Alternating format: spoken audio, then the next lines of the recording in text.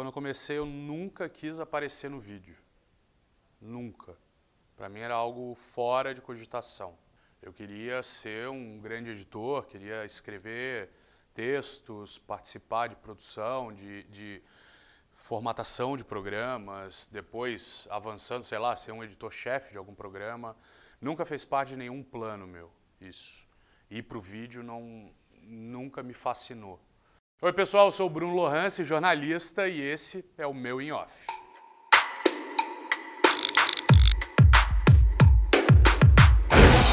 Ah, eu queria ser jogador de basquete, era o meu sonho.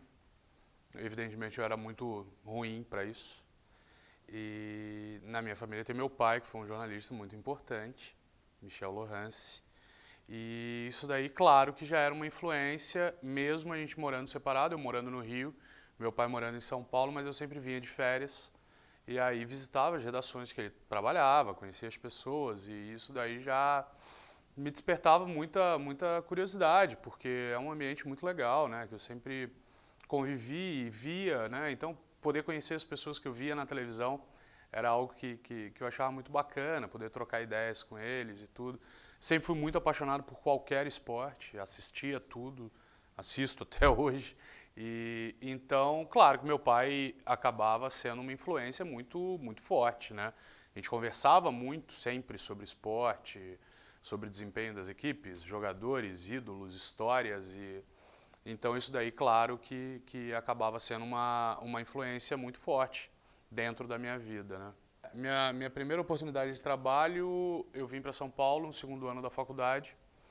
Meu pai sugeriu e falou: ah, vem para São Paulo, que o mercado é mais tem mais possibilidades, mais emissoras com cabeça de rede, né, em São Paulo. Isso daí teria teria mais possibilidade. E aí eu vim no segundo ano da faculdade.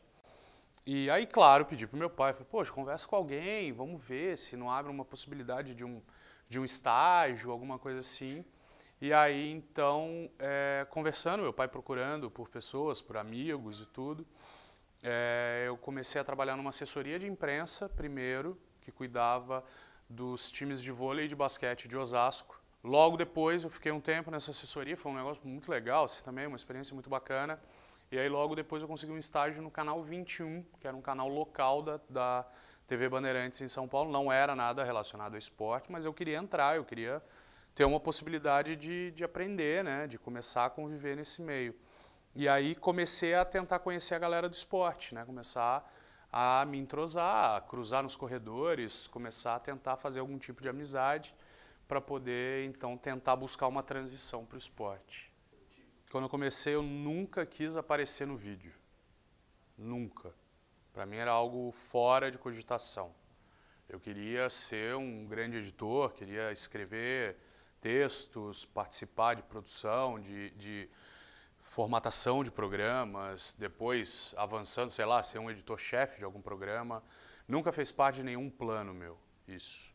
Ir para o vídeo não, nunca me fascinou. Mas eu fui obrigado a ir para o vídeo.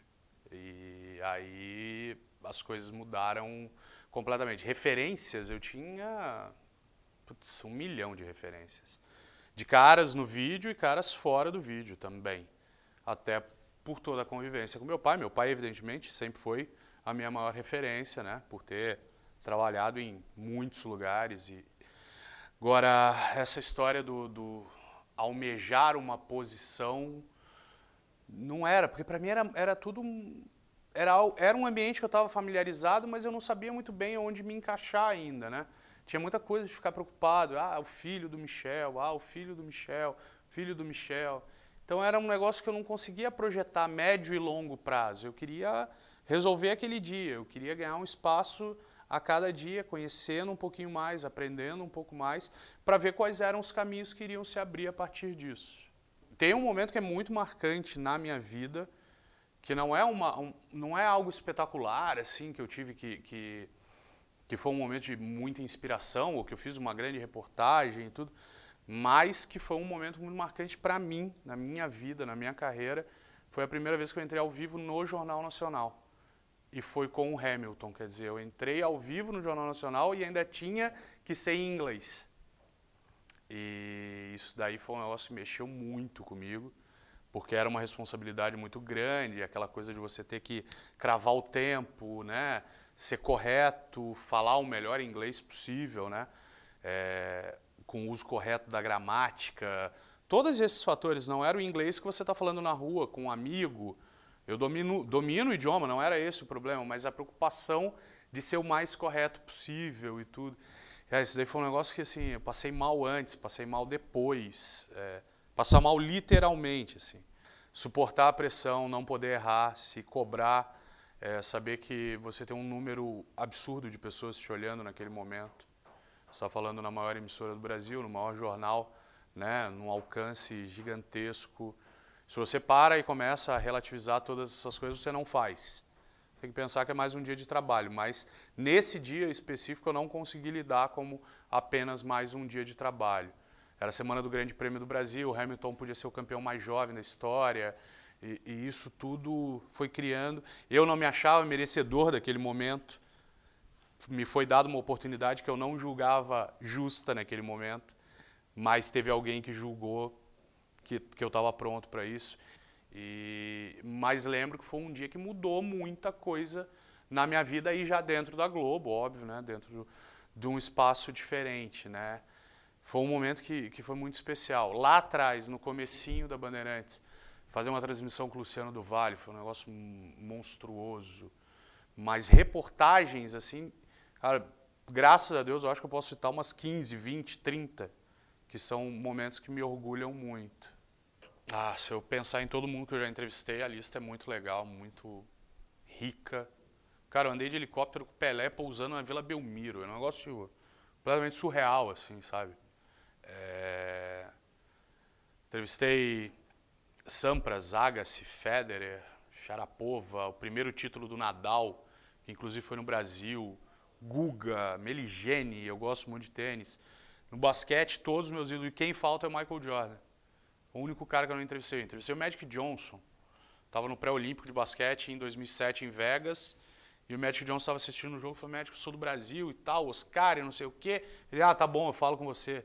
E o Michael Jordan eu nunca consegui chegar perto. Tentei de todas as maneiras, criei inúmeros projetos, procurando os patrocinadores, procurando tudo.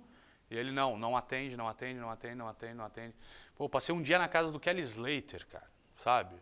A mãe do Kelly Slater veio trazer frango frito para mim e para equipe. Um negócio surreal, ele tocando violão, sabe? Eu entrevistei o Tom Brady, a Gisele Bündchen entrou com coco para ele. Oi, amor, trouxe aqui para você, sabe? É um negócio o Kobe Bryant eu entrevistei em Soweto, cara. Olha que demais, assim, sabe?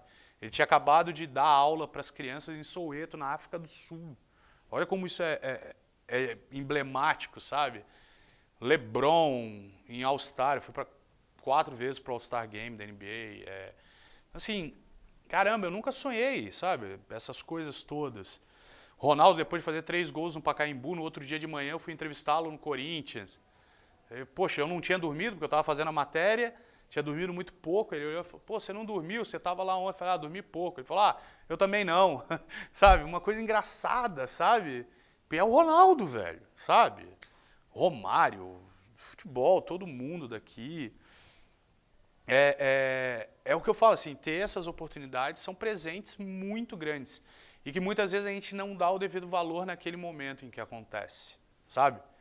Você fala, não, pô, eu tenho que fazer direito, eu tenho que correr, eu tenho que entregar, e amanhã já tem outra coisa, e depois de amanhã tem outra coisa, e muitas vezes você não, não se permite desfrutar desses momentos tão incríveis. Então, é, é todo mundo que tiver alguma oportunidade muito grande, lembre de desfrutar, lembre de contemplar aquele momento, sabe? Dá, dá mais importância ainda do que ele de fato tem, porque são momentos muito especiais e que passam muito rápido. Trabalhar com jornalismo me deu zilhões de lições de vida, todos os dias, em todos os momentos. Você encontrar uma pessoa que não é humilde, por exemplo, e entrevistá-la, ela ser arrogante com você, não te tratar com o um mínimo de educação. É... Ao contrário, você encontrar uma pessoa que você admira e ser bem recebido por ela mostra o quão importante é você tratar qualquer pessoa bem. É como você precisa lidar com a saudade da tua casa muitas vezes, porque você está muito tempo fora, em viagens longas de grandes coberturas.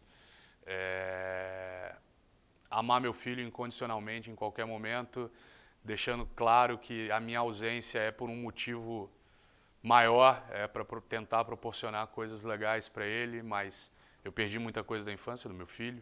Hoje ele tem nove anos, ele já é um moleque, mas coisas simples, né, de um bebê, muitas vezes eu não estava presente. E, e, a profissão te exige muito e muitas vezes você entra num modo automático, né?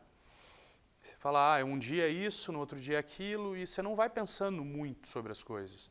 Ah, um dia eu entrevistei um cara sensacional, mas eu já estou preocupado com o dia seguinte, que eu tenho que resolver uma outra matéria, eu tenho que ser criativo de novo. Então, não banalizar a função, né, cara? Lembrar o quanto, quanto é importante você ter a chance de contar boas histórias para as pessoas, sabe? Informá-las, mas também contar boas histórias. Isso é uma honra muito grande, né, que a gente tem. Caramba, perrengue. Ah, mais fácil falar dos perrengues que eu não passei, eu acho. Já teve um cachorro em Milão, em Malpensa, no aeroporto, que encrencou com o case do tripé, a mala que carrega o tripé do, do câmera que me acompanhava na cobertura.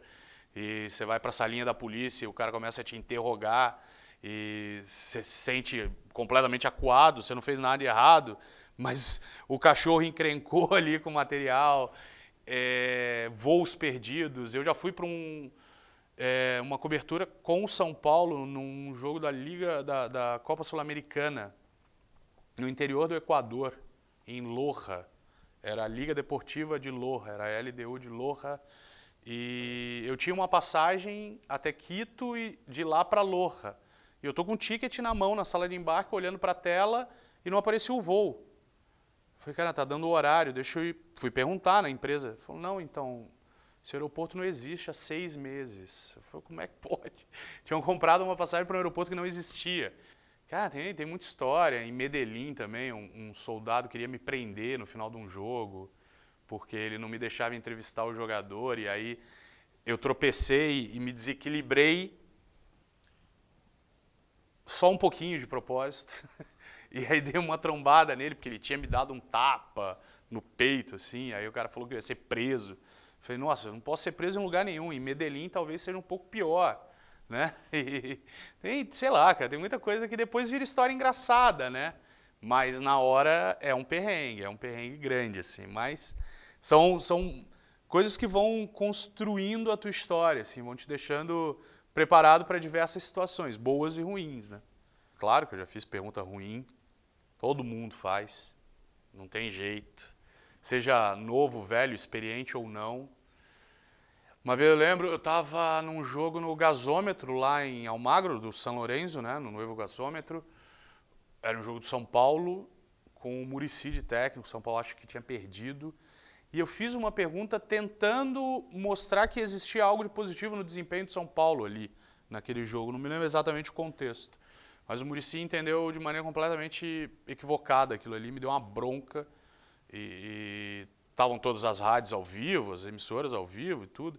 Eu, começou a, todo mundo começou a me zoar muito. Aí, tomou, tomou uma bronca do Murici. Falei, ah, só mais um que tomou uma bronca do Murici. Mas foi muito engraçado. E eu queria, e eu fiquei agoniado, que a minha intenção não era confrontá-lo, né? Era mostrar algo positivo num desempenho ruim do time naquela noite. E aí ele falou, falou, ah, você é bonzinho, mas eu não gostei não. tipo, ah, eu gosto de você, mas vou com a tua cara, mas agora você foi mal, assim. E foi muito engraçado. E aí no dia seguinte eu tentando falar com o Murici, encontrá-lo no hotel, a gente estava no mesmo hotel, assim, falou, ah, vou descer no café da manhã e tal, para ver se eu conseguia explicar para ele que a minha intenção não era aquela. Mas tomei uma bronca, já tomei bronca, do Celso Rotti, Luxemburgo. Ah, você acaba fazendo perguntas que, que muitas vezes é, talvez não, é, não seja nem a pergunta que é mal colocada, talvez seja a interpretação do entrevistado que não seja mais correta, não bata com a tua intenção, né? E aí gera, gera uma insatisfação do cara, é o direito dele. Ele, eu faço a pergunta, ele responde como quer, não tem, não tem problema nenhum, mas certamente já fiz muita pergunta ruim. Não tenho, não adianta querer dizer que não, porque todo mundo já fez. Trabalhar com isso aqui é muito legal. É muito legal. E é muito difícil. É, infelizmente, em alguns momentos eu vejo a galera banalizando mesmo as funções. E vejo muita gente buscando estar aqui, poder olhar para cá com um objetivo diferente do que deveria ser. É o que eu falei antes. Importante é quem está sendo entrevistado, não o entrevistador. A gente é um, um elo, né? Você cria essa conexão entre a história que o entrevistado tem para contar e a história que a pessoa em casa vai ouvir. É muito legal. Eu tenho história, histórias muito loucas que eu jamais imaginei na minha vida. E, essa, e tudo isso foi construído através da minha profissão. Né? Primeiro como produtor, depois como editor de texto, depois como repórter, depois como apresentador, hoje como comentarista e ainda continuo com todas essas funções, eu não jamais. Eu sou jornalista, o que eu vou fazer não importa. Se um dia o cara virar para mim e falar assim, ah, eu preciso que você fique atrás da câmera, não tem problema, vamos embora. Vamos participar do projeto, vamos fazer andar. Mas participar é o mais legal, seja em qual função for, mas vale a pena pra caramba. Porque você vai se dedicar muito, você vai entregar muito da tua vida, mas vai valer a pena. Não tem a menor dúvida disso, cara. Eu começaria lá atrás tudo de novo, faria tudo de novo, meio clichê, né? Mas hoje, quando eu paro e penso nas coisas que eu tive oportunidade de fazer, eu sinto muito orgulho, me sinto muito feliz e, e faria, faria absolutamente tudo de novo.